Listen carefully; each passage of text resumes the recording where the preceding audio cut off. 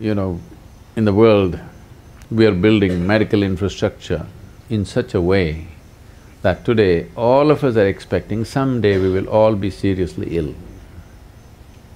It need not be so. if uh, you live with Narmada ji, it need not be so. and not just her, there are many others. It need not be so if you know how to manage the elements, if not all of them. It's very easy to bring water and air into your control. These are two elements which are easily accessible.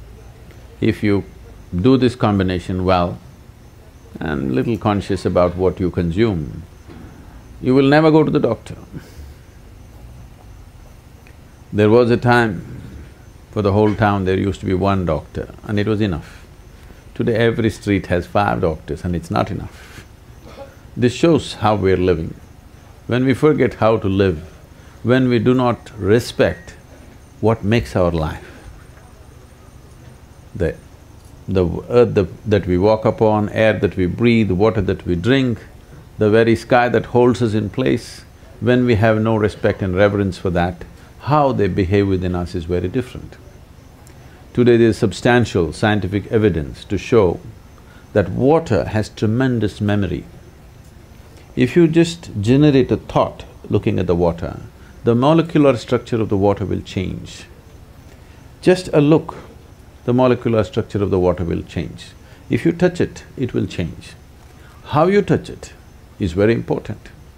So now for example, they're keeping it in a copper vessel with a flower on top of it, because this is the god. What other god? If you don't drink water for one, one day, this is the only god, no other god, isn't it? So, how you treat the water, the memory remains for a long period.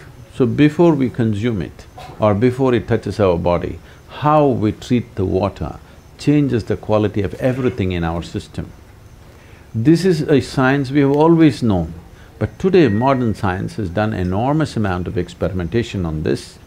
Now they're saying water is a liquid computer. The volume of memory and intelligence is carries by itself. It is a liquid computer, this is what they're saying, it's a fluid computer. We have always known this. What is called as tirth, why for one drop of water people go and stand in a temple, is because it has the memory of the divine. You want to take that into your system. If the deity is powerful and the water has touched the deity, it has the memory of the divine, you want that to enter your system. But being in a pure space like this, it's a blessing. If… Uh, there are certain ways with which you can be in the water. If one does that, every ailment, all chronic ailments will go. There are infectious diseases and chronic ailments. Infectious diseases are an invasion from outside. Other organisms are entering our body and troubling us. For this you need a doctor. You need warfare you have to bomb them out. Chemical warfare is normally what we're doing. But over seventy percent of human ailments are self-help. We manufactured that within our system. This is simply because fundamentally, the way we are treating the elements within ourselves and around ourselves. The so-called modern life has absolutely no reverence to the substances which make our life. The life-making material is being treated badly and we're expecting it'll behave well within us and it will not.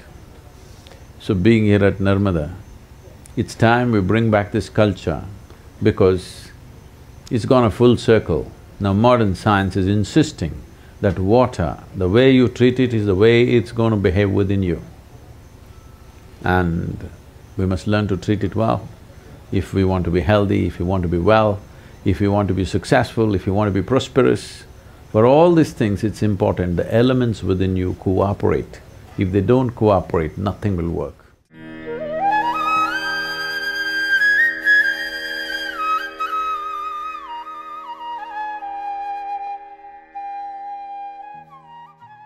One simple thing you could do is uh, how you treat the water, at least the water that you consume.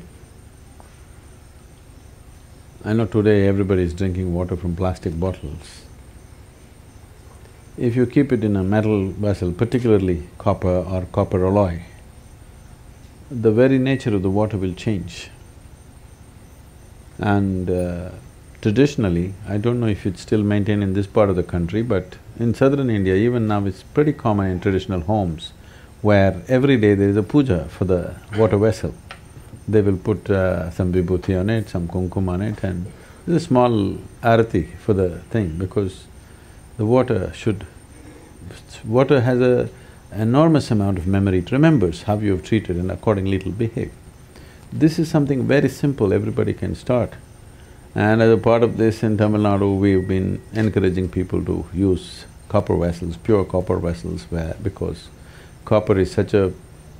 you know, it's… it's the best conducting metal and it energizes the water.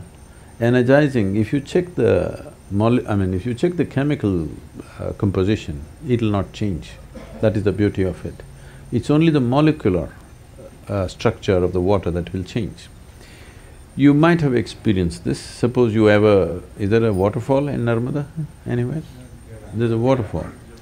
If the water is falling like let's say over 20, 25 feet, and just after the waterfall, if you just touch the water, you will find water is silky for touch. Have you noticed this? Because water implodes within itself and the molecular structure changes, the way it feels is different. Today, they have created what is called as impl water imploding machines. You can implode the water with a machine, it just churns it in a certain way and implodes it. It has been found that if you use water imploding machines, with ten percent of the water, you can grow the plants the same way as you're growing. The water consumption will come down. With ten percent of water, the plants will yield the same because the imploded water becomes silky and its ability to become a part of the plant system or tree is much, much better. So, if you're in agriculture, imploding machines can come, it's… Uh, some people have patented it in UK, we are trying to bring some machines and give this service to the local farmers in Tamil Nadu so that people can use imploded water and their water consumption in the fields will come down dramatically because how long you pump the water, electricity not being free these days, it gets very expensive for the farmer. If the amount of water he needs to pump on his field is much less, it'll make a big difference. For daily consumption, just a copper vessel, every day if you have something, if you light a lamp next to it, if necessary, just one flower, the very way the water behaves within you will change. And when before you consume just one one moment of gratitude and reverence because this is the material with which you're making your life, not with some unknown god. This is the material that makes your life every moment. And how you treat it is very important in your emotion, in your thought. If you hold water as… if you… you don't even have to think Devi stuff, you just understand the reality, the fact of it is, without it you cannot survive. Yes? Whatever is the basis of your survival, you bow down, isn't it? So the water, the food, just bringing that reverence, you will see the volume that you consume will also come down and the way it behaves within you will come down. If you don't catch an infection, if you treat these elements properly, as I said earlier, most probably you, would, you won't see a doctor's face unless you're one.